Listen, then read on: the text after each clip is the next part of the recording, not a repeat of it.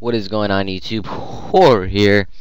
And I'm going to be bringing you guys a tutorial. Yes, a tutorial on graphics.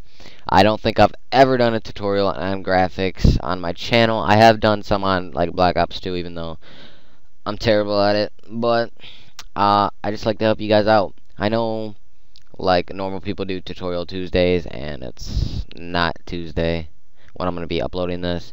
But I didn't. I I don't have time today for speed art because I, it's unimaginable how much homework my teachers have given me today, and basically the whole week. That's why I don't really have time to do speed arts and stuff. And plus, I have sports and stuff. But let's get on to this uh, tutorial. It's going to be um, the displacement map.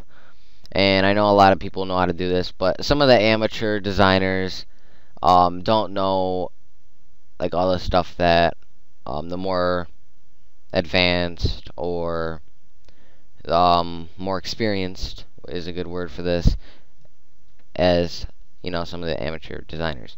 But um this um displacement map will be in the description so let's get on to the video. What it what it is is basically you're gonna get your um you're gonna get a 3d uh, render and it's kind of gonna make it grungy splattery kind of.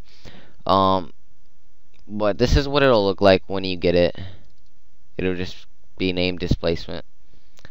Um but I'm gonna open up my most recent lava render. I like that's really the only time I really use it but it's helpful on some other things.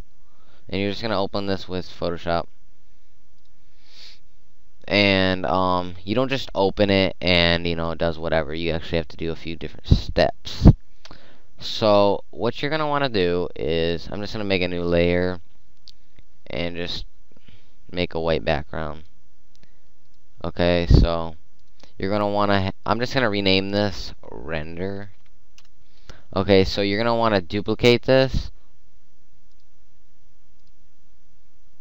okay? And you want to make sure this render copy is selected and then you're going to go up to uh, filter and it's the 10th one down it's distort and then once this tab opens up click displace. And then my settings and a lot of other people's are you do 25 for the horizontal scale and 25 for the vertical scale. And these the displacement map and the undefined areas those are usually default to stretch to fit and repeat edge pixels, which are good settings. That's what I use. I've never really played around with any other settings. So that's what I would recommend for you guys to use. And you're going to click OK.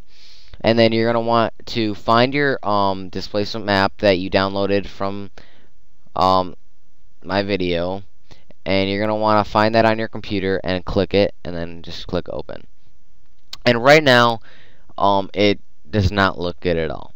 And it's kind of um, not overlapping correctly. So you're going to want to make sure that's selected again.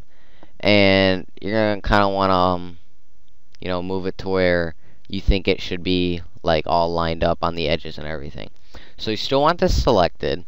And what you're going to want to do is go to the brush tool. And 50 is a pretty good size. And I would recommend using the fuzzy tool I or the fuzzy brush I mean because that's how it blends in good on the edges and stuff so it doesn't look like it's just kind of cut off. And so I would recommend not using um, the hard round um, brush. Use I call this the fuzzy one. So or soft round that's what it calls it. So you're gonna want to click off that and then you're gonna want that selected once again. And you're just gonna kind of want to go around the edges you know all around the edges. It doesn't have to be, I mean, I would recommend you guys doing it good, but I'm just going quick for the sake of the video. You know,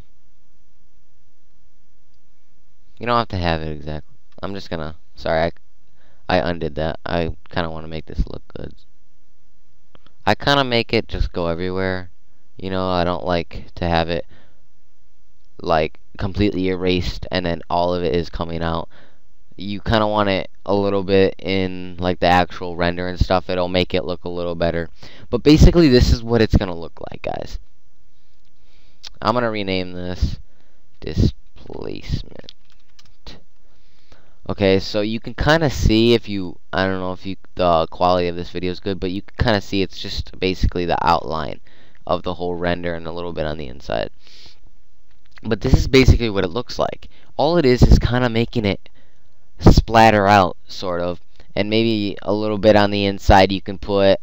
It's kind of a grungy look. I like it. I like to use it mostly for lava, my lava style, because it looks very good with mine. And your lava style if you have one, or even 2D. I'm pretty sure you can use this displacement map for two uh, two-dimensional graphics. And you know, I would recommend this mostly for um, lava style, but any other 3D it probably looks pretty good with. I've never really done that much of other 3D. But basically, guys, that is it. You can play around with the settings and the displacement map as much as you want. But, um, guys, I'd just like to thank you guys for almost getting me to 1K already. I'm at about 930 su subscribers. And I'd just like to thank you guys for that. And get me to 1,000, guys. And there will be some crazy stuff going up on my channel, guys.